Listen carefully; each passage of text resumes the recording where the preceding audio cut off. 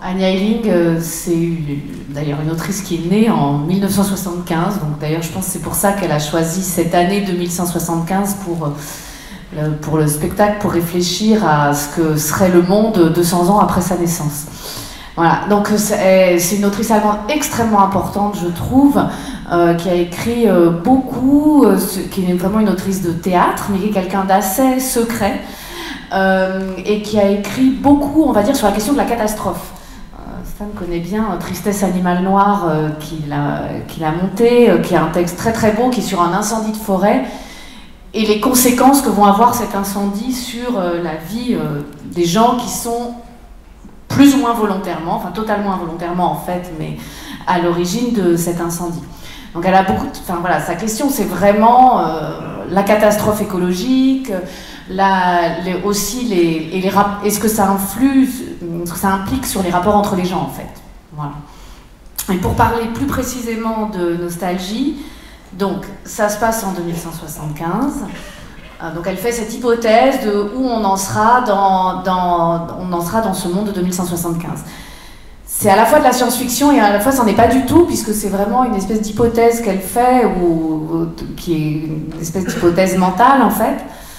Et euh, en tout cas, ce qu'elle nous propose, c'est qu'en 2175, il y a eu un accident euh, environnemental qui fait que euh, le soleil a disparu, l'électricité a disparu. Voilà. Déjà, ça c'est la base. Il fait 60 degrés. Ça, c'est la partie la plus réaliste du truc. Ah, pas 60 degrés dans la salle, hein. je précise parce que sinon on va avoir personne. Oui, c'est ça. Non, mais en 2175, on ne sait pas. En, décembre, ça devrait aller. Mais euh, donc, il fait 60 euh, degrés. Euh, les gens ne peuvent plus circuler à l'extérieur sans combinaison de protection. Voilà. Mais tout n'a pas changé en 2175, et notamment ce qui n'a pas changé vraiment, c'est que le capitalisme se porte hyper bien. Et donc, il y a toujours des gens pour inventer des trucs un peu bizarroïdes. Et il y a un petit malin qui s'appelle Poche, qui est un industriel, qui a euh, inventer un système pour euh, isoler les maisons de la chaleur qui permet aux gens, enfin surtout aux gens riches, de euh, se promener en t-shirt chez eux, ce qui est vraiment un truc complètement dingue en 2175 qui n'existe vraiment plus. Alors ce, matériau très bizarre s'appelle le dermaplast, c'est à partir de la, peau, humaine retravaillée, de façon très, et sur cette peau, sur ce, matériau à base de peau, on fait des tableaux. Et l'autre chose que j'ai oublié de vous dire, c'est qu'en 2175, parmi les choses euh, sympathiques qui se sont passées, c'est que les femmes n'enfantent plus naturellement. Il y a un système, euh, et les gens n'ont plus de cheveux aussi.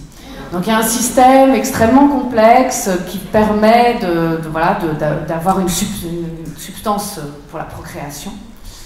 Voilà ils sont en train de s'adapter. Alors, comme elle dit à un moment, avec le soleil et la neige, ça cafouille encore, mais on, s'adapte.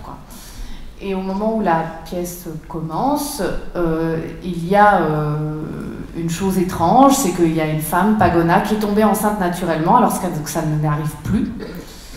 Et c'est d'autant plus étrange que son compagnon est un grand brûlé, puisqu'il a, suite à une agression, il a été exposé à cet air très nocif et donc il est brûlé au xème degré. Donc il y a une question euh, voilà, de comment cette chose-là a pu se produire.